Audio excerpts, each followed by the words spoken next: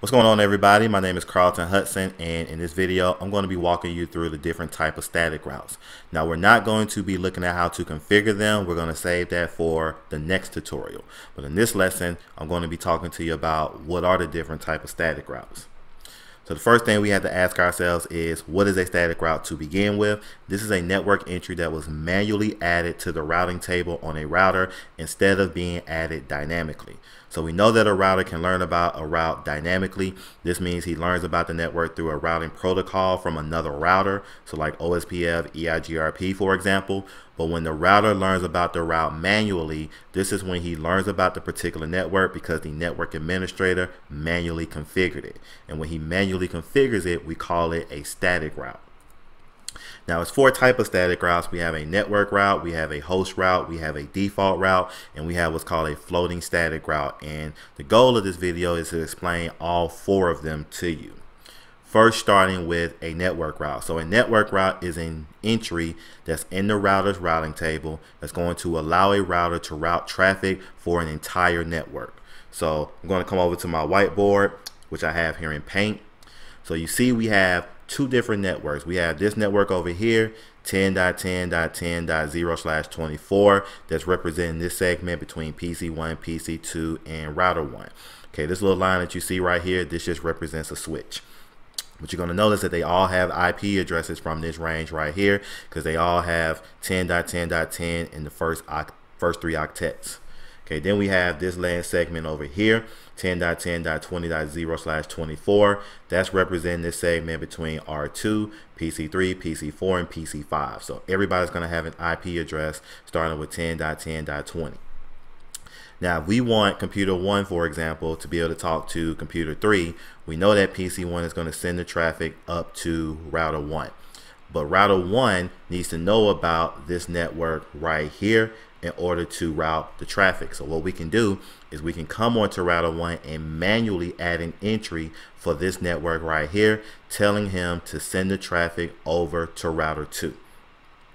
So now once we add this static route, it's going to allow computer one and computer three to be able to talk to any computer that's on this network right here. So it doesn't matter if they're trying to talk to computer three, computer four, computer five, they're going to be able to talk to every single computer on this network. Okay, just like we're going to come on to router 2 and add a static entry for this network right here. Okay, that's going to allow all three of these computers to talk to any device that's on this network right here. So when you add a static route and it's for a specific network, that is going to be a network entry. So it's pretty much allowing computers to talk to anybody that's on that particular network. Okay. Now the second type is going to be a host route. This is an entry that's going to allow the router to route traffic for a specific host. So we come back over to our diagram. There may be situations where we don't want to open up the entire 10.10.20.0 slash 24 network to PC1 and PC2. So if we were to add a static route for the entire network for this right here, make sure I got my brush. So we would have add a static route on router one for this right here. We're pretty much opening up the entire network to computer one and computer two. So then computer one could talk to anybody on this particular network. And if we wanted to stop that, we would have to put ACLs and filters in place. But if we only want PC1 and PC2 to talk to PC3, for example, without having to put access control list in place, we can configure a host route on router 1 saying, hey, router 1, if you're trying to reach this specific IP address right here, go ahead and send it on over to router 2. So now router 1 is only going to know how to route traffic for PC3. He's not going to know how to route traffic for PC4 or PC5. So when router 1 or computer 1 sends the traffic up to router 1, as long as it's going to computer 3, router 1 is going to know to send the traffic right on over to router 2. But if PC1 is trying to send traffic to PC4 or PC5, router 1 is going to drop it. So this is what you can do when you don't necessarily want to open up communication to an entire network. You only want to allow communication to specific hosts. So instead of putting a static route entry for the entire network, just put a static entry for the specific host. So that way you only allow routing to that specific host and you don't open it up to the entire network. Okay, so that's going to be a host route. And then we have a third type, which is a default route. Okay, this is an entry that allows the router to send traffic to another router in the event that the router doesn't have an entry for the destination. So we come back to our diagram. Let's just say that PC1 is trying to talk to PC3 and he sends the traffic to router 1 who is his gateway. Now router 1 does a route lookup and he does not have an entry for the network that these computers belong to, or he doesn't have an entry for PC3 as a host route, we know he's going to drop the traffic. But we can configure a default route that tells router 1 instead of dropping the traffic if you don't know about the destination, send the traffic to router 2. Now, hopefully router 2 knows about the destination and he can send it where it needs to get to. But instead of having router 1 drop the traffic, we can configure him with a default route. So once we do that, router 1, for anything he doesn't know about, he's going to send to router 2. Okay, that way he doesn't just outright drop the traffic just because he doesn't know where to send it. So that's what a default route does. Instead of you dropping the traffic, I want you to send it to another router who probably knows how to get to the destination. Okay, that's going to be a default route. And then the fourth type of static route, come back to my slides. The fourth type of static route is going to be a floating static route. So what happens is you configure two static route entries on the router, but you have the router prefer one of the static routes and the second static route acts as a backup. So it's kind of just floating there waiting to be used. Now how it works is the primary static route gets installed into the routing table. That's the one the router is going to be using to reach a particular network.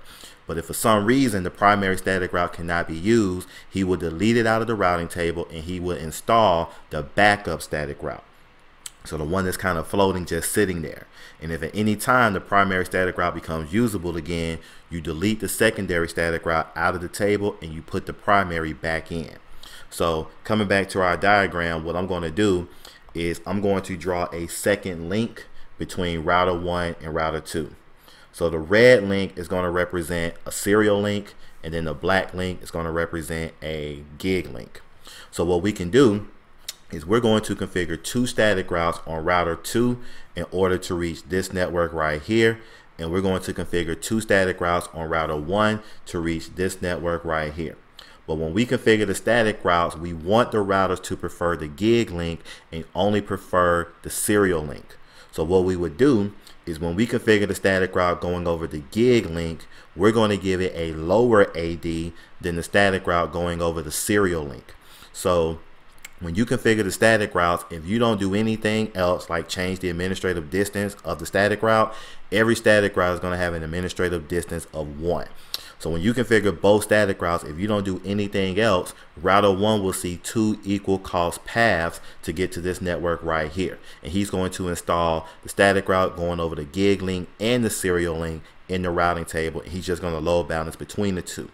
But if you want to only install the static route going over the gig link and then the serial link should only be used if the gig link fails. What you need to do is configure the static route going over the gig link with a lower AD. So let him have the default AD of 1 and you give the static route going over the serial link an AD of 2.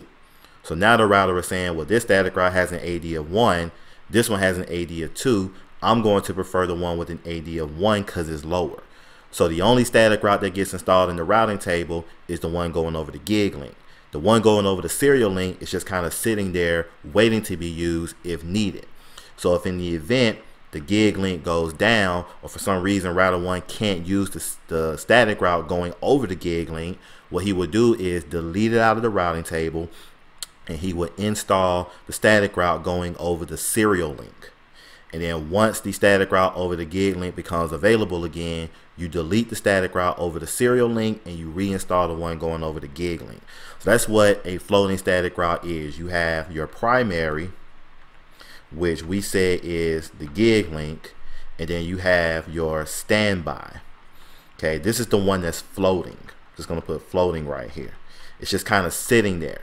And this is the one going over the serial link. So we're gonna give this static route an AD of one, and then this static route an AD of two. So the router is going to install this one and he's going to use this one to send any traffic he needs to send over to router 2 for this network. But if for some reason he can no longer use the primary static route, he will remove it out of the table and he will install the backup static route, consider it is usable. And then once the primary static route becomes usable again, he deletes the standby static route and he puts the primary static route back into the routing table. And guys, that is going to conclude this video. So all I wanted to do in this video was break down the four type of static routes, a network route, a host route, a default route, and a floating static route. And in the next video, I'm going to show you how to configure all of these. So be sure to tune in for that video.